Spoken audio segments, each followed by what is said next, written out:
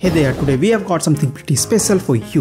The Acer Nitro 5, the first gaming laptop rocking a 7th gen Ryzen 7 processor all under 69,000. Now you might be wondering how on earth did they manage to pull that off? And more importantly, is this the best gaming laptop you can get under 70,000? When everything was like, it's gonna fall under my plan, I found out the Ryzen 7 in this laptop tells an entirely different story. So this series starts from 69000 and the variant we have has the RTX 3050 along with the Ryzen 7 7735HS. But there is a twist to the processor that I will discuss later. For now, let's look at the specs.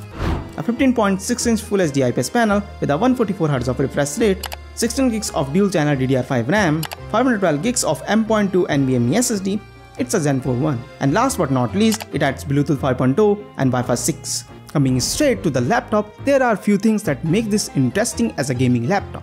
For example, the strength of our laptop. Think of this section like the opening of the first chapter of a book. Why is it so important? Because it's the key on how long your laptop will last, even if you are as tough on it as I am. Testing the laptop's strength involves gently pressing on the lid to check the screen stability and pushing the keyboard area to test the durability, similar to testing if it can withstand intense typing. Before diving into the test results, let's address some numbers. This model comes with some changes. It's slightly heavier, weighing an additional 300 grams. Additionally, it's more thick, measuring between 25.9 and 26.9 millimeters, placing it on the heavier end of the weight balance. Comparing its design with the Nitro V15, this one feels a bit more inclined towards gamer aesthetic. While it's not as aggressive as the older Nitros, but has a few gaming elements, like the red colors on the exhaust. Simply put, Nitro 5 is winner when it comes to the build quality. Even though it's all plastic, it's tough and holds up very well in everyday use. This means it's durable and strong, perfect if you need a laptop that can handle a bit of rough treatment. The hinge on the Nitro 5 also feel fairly strong, with a little bit of bounce when opening the lid. By the way, the lid can be opened with one hand quite easily, thanks to the overall strength I mentioned earlier. You still get a full 4-zone RGB backlight that you can customize with the NitroSense app. The Nitro 5 keyboard is still a pleasure to use. The travel distance and spacing seems good and you get a large set of arrow keys. While it's not as good as the Lenovo keyboards, it's not terrible. As for the touchpad, its surface is pretty smooth but the clicking mechanism works well only in the 70% area of the bottom. The Nitro 5 comes with a cooling system designed for the effective heat management. It features two fans, one for the processor, another for the graphic card, along with two heat pipes set between each of them. The third one is only for the processor. Moving up, there are heat spreaders cooling the VRMs and the graphic memory. And Acer also provides NitroSense software, which allows you to adjust the fan speed. You can choose from preset fan modes like auto or maximum or you can create your own custom settings. Additionally, NitroSense offers different system modes such as quiet, default and productive depending on your needs. I know a lot of people watch my video but only a few percent of them subscribe to it so do subscribe. It will really helpful for you as well as for me. The outside design is completed with the 720p webcam and some useful ports. Starting at the back, there is a power port, a Gen 2 Type-C USB 3.2 port and an HDMI 2.1 port. On the right side, you only get two USB ports, one of which is a 3.2 Gen 1 Type A port and the other one is a 3.2 Gen 2 Type A port. On the left side, you get a full Gigabyte Ethernet port, a Gen 1 USB 3.2 port, and a headphone microphone jack. One of the Acer Nitro 5's more serious features is the display.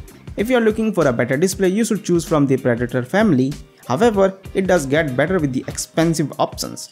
Let's return to the Nitro 5, which has a 15.6 inch Full HD 144Hz IPS display with a brightness level of 277 nits. Not enough for outdoor usage, but will get the job done. We find a DCI P3 coverage of 42.5% and a sRGB coverage of 59.7%. But you can find a better screen at this price point. Its number 7 doesn't really justify its performance as you will see in the benchmarks. It can't even beat the i5 13420H and you should think about it multiple times before buying this laptop. This CPU has a total of 8 cores and 16 threads, plus it's a mid-level CPU, like there is U, then HS, then H, and finally HX. The 7735HS is the refresh of the 6800HS with 50 MHz higher boost clock speed and a higher TDP of 54 watt. So in the end, how does this all translate to the real world performance? To find out this, we ran Cinebench R23. So especially when it comes to the multi-core workloads, the Ryzen 7 7735HS don't necessarily produce a big improvement over the 6800H because they are basically the same CPUs. Even the single core performance is same as the multi-core. Of course, and the AMD systems can't compete with Intel's Raptor Lake, but it's a fact that the Ryzen CPUs do take lead in the terms of power efficiency. And as I go through the rest of the benchmarks, it's pretty clear that the new Nitro 5 brings about a 3-4% improvement over the previous generation. Turbo mode can definitely squeeze out a lot of performance, but it won't be enough to outperform the previous generation gap. How does this all mean to you if you don't understand the benchmark scores? So, based on my experience with the performance, everything is top notch, the system is fast and I haven't noticed any slowdowns during use.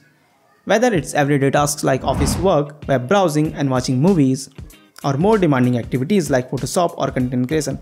What I mean by content creation here is the uses of the Adobe Premiere Pro, After Effects, DaVinci, and many more softwares that are used in the content creation works.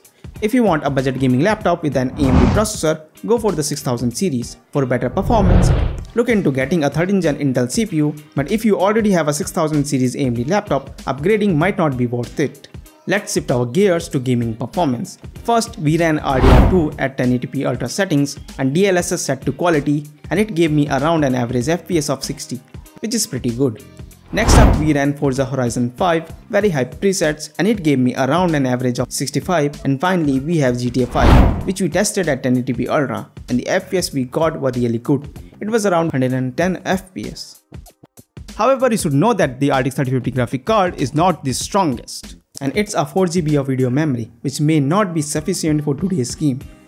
You might need to turn off ray tracing or lower quality settings and DLSS will not help you much. So even if you pay 69,000 rupees, you only get a 3050 with average performance when you can get the V15 version of the Nitro for roughly the same price but with a better graphic card, the RTX 4050.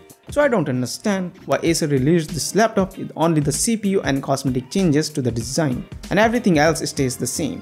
And if I talk about the battery, it went from 100% to 20% in about 3 hours. All this time I was surfing the web, watching YouTube and then streaming a movie. I'm avoiding talking about the battery backup for gaming because it's not a good idea to even consider gaming on battery because it can put a lot of stress on your battery and can also affect your gaming performance. The sound from the speakers is not bad, but there are no bass, volume and other features that are often found in the top models of the laptop.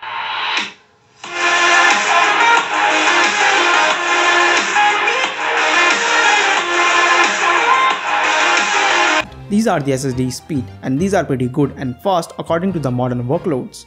Moving on to thermals, the maximum temperature for the processor was recorded at 92.4 degrees Celsius. For the graphic card, it was around 84.1 degrees Celsius. By the way, the critical temperature for this processor based on the specifications on the official site is 95 degrees Celsius and we are almost there. In principles, these figures can be considered quite acceptable for notebooks. We should also take this into the account that this was our stress test, where everything was loaded at 100% and the cooling fans were set to auto. In simple work tasks, the temperature will be much lower. In games, the temperature are about the same. The noise level ranged from 55 to 59 decibels, but honestly, the Nitro 5 is pretty quiet. I've used much louder laptops before so I can compare. If you switch the fan profile to max in NitroSense, the noise increases a bit to about 60 to 65 decibels. It might not seem like a big difference on paper, but it's noticeably louder to the ear. It's best to adjust the settings individually to find the right balance between cooling and noise level.